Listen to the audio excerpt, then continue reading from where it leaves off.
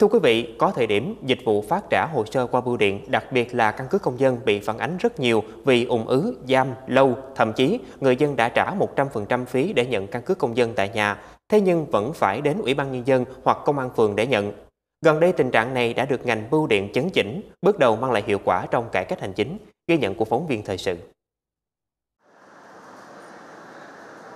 Anh Nguyễn Thanh Hảo quê ở thành phố Cần Thơ lên thành phố Biên Hòa, Đồng Nai để làm việc. Tuy nhiên do giấy phép lái xe của anh đã quá hạn cần phải cấp đổi lại nên anh Hảo đã tìm đến các quầy bưu điện để nhờ hỗ trợ. Anh Hảo cho biết bản thân không rành về các thủ tục hành chính lại khó sắp xếp thời gian để đi cấp đổi nên việc đăng ký qua bưu điện để được hoàn thiện hồ sơ như yêu cầu là rất hữu ích. Việc này giúp anh đỡ phải nghỉ phép dài ngày cũng như đỡ chi phí di chuyển đường xa.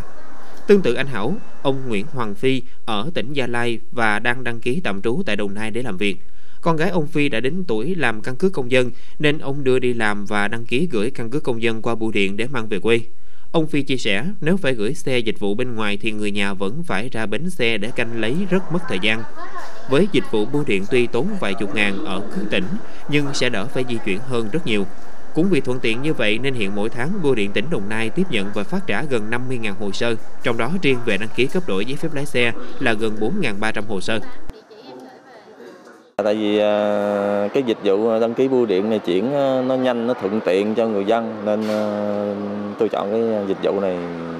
Tại vì là thứ nhất, thứ hai nữa là nhà ở xa, mình chuyển cho cháu thì là công việc của mình nhiều lúc không có rảnh rỗi để mà đi lấy rồi mình nếu mà mình lấy mình còn phải gửi xe đem ra nữa thôi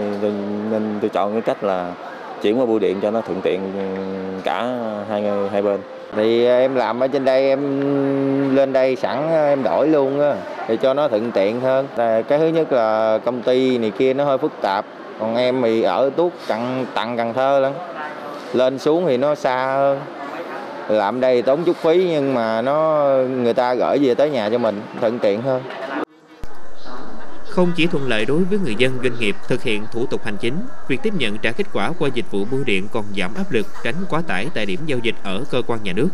Hiện tất cả các sở ngành địa phương trong tỉnh đều có ký kết với Bưu điện tỉnh Đồng Nai để hỗ trợ làm hồ sơ và phát trả qua bưu điện. Trong đó ở cấp sở ngành có trên 18 thủ tục hành chính và 70 thủ tục hành chính thuộc Ủy ban nhân dân các huyện thành. Bưu điện tỉnh Đồng Nai cũng cho biết, hiện các thủ tục hành chính đăng ký qua bưu điện tập trung nhiều nhất là thuộc ngành bảo hiểm xã hội, giao thông vận tải, tư pháp và công an, cụ thể như chuyển phát phiếu lý lịch tư pháp, chuyển phát hồ sơ bảo hiểm xã hội, giấy phép lái xe, căn cước công dân.